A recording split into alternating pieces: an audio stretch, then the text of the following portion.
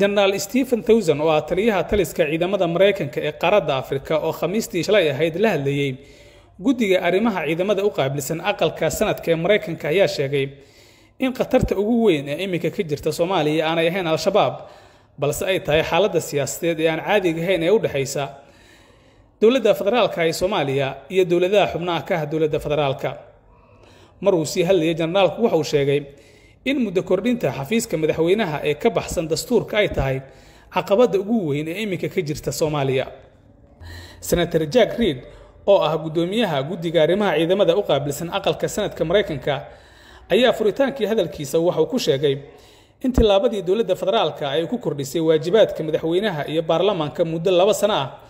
ay tahay tallaabo si toosa u wiiqaysa horumarka laga sameeyey geedi socodka dimuqraadiyadda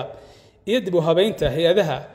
waxayna khatar geli kartaa ayuu yidhi taageerada caalamiga ah. Taliyaha africom genaraal steve towson ayaa mar uu ka hadlayay go'aankii madaxweynihii hore ee maraykanka donald trump uu ciidamada kaga saaray soomaaliya waxa uu sheegay in arrintaasi ay abuurtay caqabado cusub oo la xidhiira dagaalka lagula jira al-shabaab. Horaantii bishii disembar ee sannadkii la soo dhaafay madaxweyne trump ayaa amray in soomaaliya laga saaro toddoba boqol oo askari oo maraykan ah waxaana iminka jooga muqdisho boqol askari